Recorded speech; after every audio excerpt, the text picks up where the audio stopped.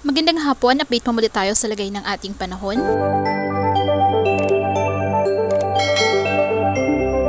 Patuloy po na nagpapaulan sa Visayas at Mindanao ang ITCZ o Intertropical Convergence Zone.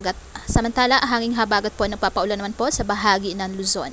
Patuloy pa na po natin binabantayan ng isang low pressure area na nasa loob po ng ating area of responsibility. Sa ngayon po ay mababa pa po ang tsansa nito na maging isang bagyo. Lalapit po ito dyan po sa may Eastern Visayas at posibleng dyan po sa may Bicol region sa mga susunod po na araw. Kaya magdadala po yan ng mga pag-uulan sa mga nabanggit po na lugar.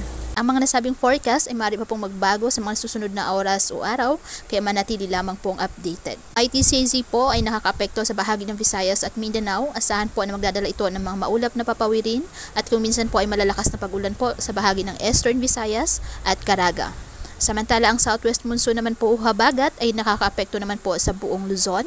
Magdadala po ito ng maulap na papawirin at katamtamang lakas ng ulan sa bahagi po ng Zambales, Palawan at Mindoro provinces. Ang natitirang bahagi ng bansa ay makakaranas po ng mga localized thunderstorms ngayong hapon. Patuloy pong maging maingat, maging alerto at patuloy na mag-monitor sa lagay ng ating panahon.